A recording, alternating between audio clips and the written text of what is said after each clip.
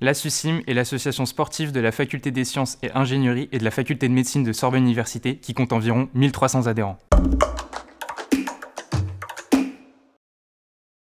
Nous proposons environ 35 activités sportives aux étudiantes et étudiants.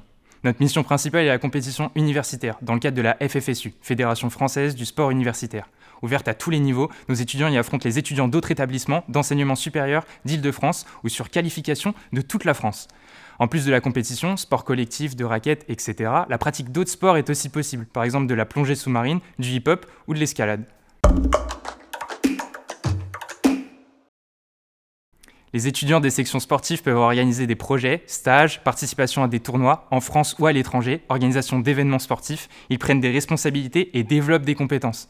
Ce sont les étudiantes et étudiants qui font vivre l'AS en collaboration avec les encadrants des différentes sections, parmi lesquels les professeurs de PS de la Faculté des sciences.